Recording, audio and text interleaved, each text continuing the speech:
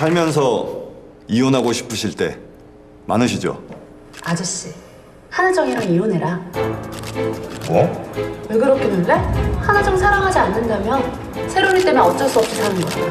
그거 거짓말이야? 거짓말이게. 솔직히 세롬이 아니면 진작에 헤어졌지. 와이프가 여자로 느껴지긴 하는 줄 알아? 손톱만큼 애정이 남아있지 않더라고. 그치? 그럼 이혼하고 나랑 결혼하자. 어? 늦었다. 네, 보자. 뭐 거야? 안 가! 들어가야지.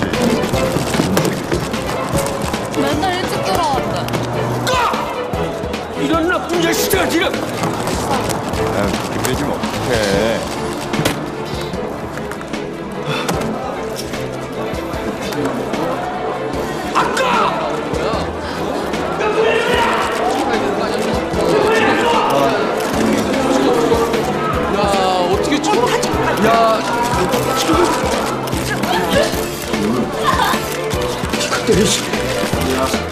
어? 찍지 마! 찍지 마!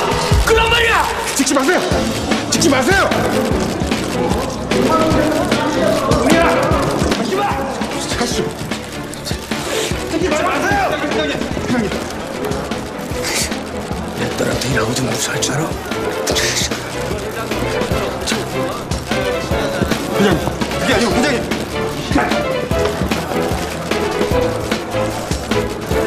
지금 출발했으니까 5분이 터뜨려.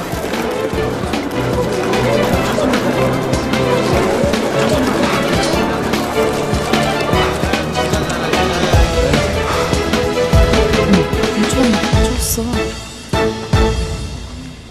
하나정. 네 작품이었어? 당연하지. 여기가 끝이 아니야. 박병기, 당신이 저지른 죄값 철저히 받아.